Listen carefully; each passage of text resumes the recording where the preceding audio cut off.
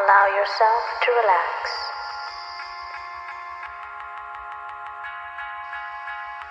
Let go of any concerns that may be in your mind about what you have just been doing, about what you will be doing later. Simply be in this moment.